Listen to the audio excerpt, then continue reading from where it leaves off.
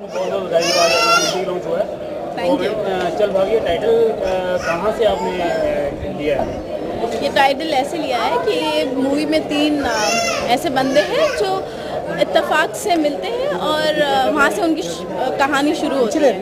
और जिस हिसाब से वो फंस जाते हैं एक एक कंट्रोवर्सी में और उस वो कंट्रोवर्सी से भागते रहते हैं। इसलिए पिक्चर चल भाग टाइटल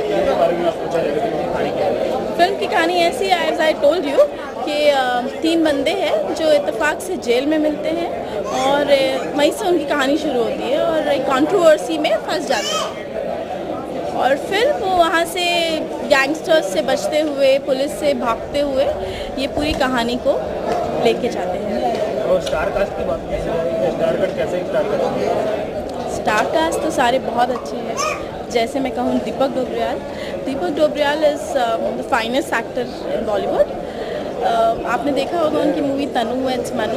बस वहाँ से हमने ना सोचा था कि will stars will launch